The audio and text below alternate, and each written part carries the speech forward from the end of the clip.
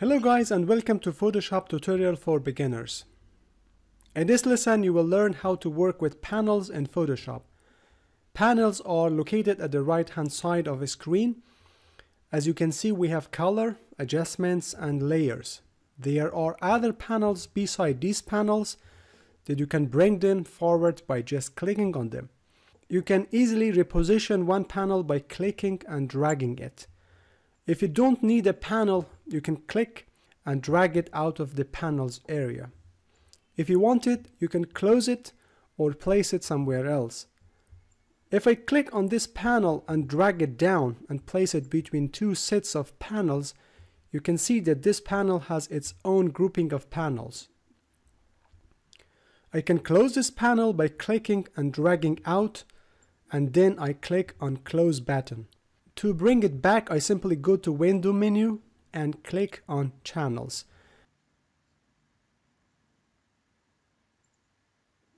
Let me place it back inside the group of panels. There is another way to close a panel or a group of panels. If you right click on a panel or a group of panels you can either close one panel or you can close all of them at once. You can bring them back from window menu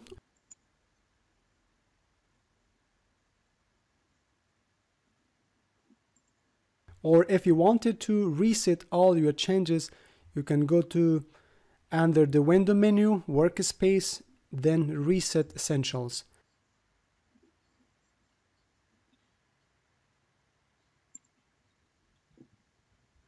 In order to bring a new panel you can do it from window menu to bring the info panel for example I click on window menu and click on info as you can see, the info panel is nested here.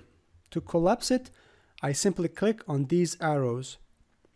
As you see, these are shown as icons and in order to expand them, I simply click on these two arrows. And to collapse them, I click on arrows again. And if I position my mouse on top of these icons, we get a tooltip showing what panel that is. I can make this narrow panel bigger by clicking and dragging to the left. And to bring it back, I click and drag it back to the right. If you wanted to quickly hide all panels from the screen, you can press the Tab key on your keyboard. And to bring them back, press Tab again.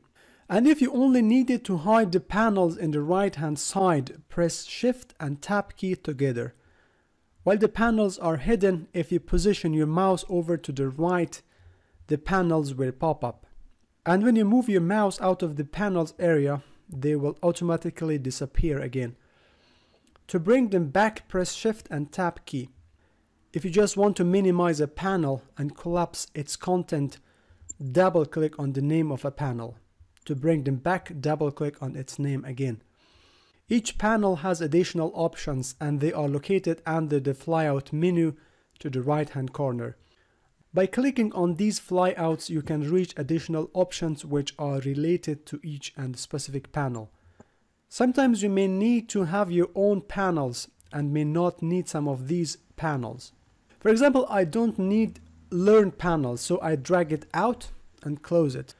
I close the libraries panel the same way by dragging and closing it. I don't work with channels either, so in this time I'm gonna right click on its name and click on close. I want the paths panel to be shown beside the adjustments panel.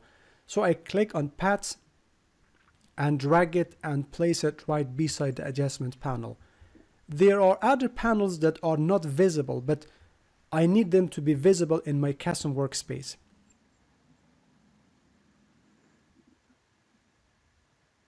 In this case, I need to bring the action panel.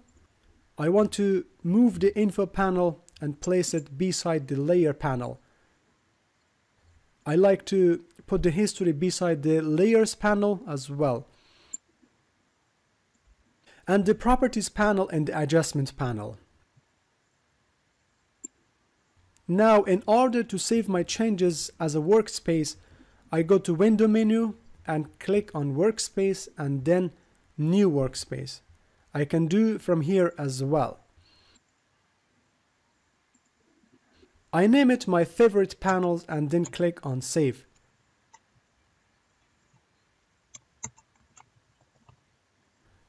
You can even save your custom shortcuts and arrangements of toolbars and menus.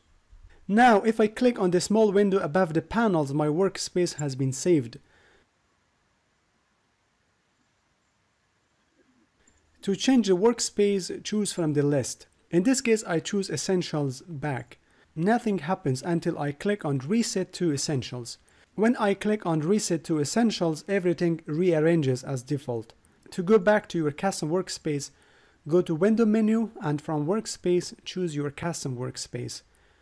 If you needed to delete a specific workspace, you can do it from the Window menu, Workspace, and then Delete Workspace. From the pop-up window, choose the workspace that you no longer need it and click on Delete. Remember that you cannot delete the active workspace. If you are sure to remove it, click Yes. In addition, if you want to change the appearance of the screen, for example, if you want to make it lighter or darker, right click on panels and click on interface options. I like the darker color, so I choose the darker theme and click OK to apply changes. Now as you see, it looks much better. Hope this video was helpful. See you in the next movie. Bye.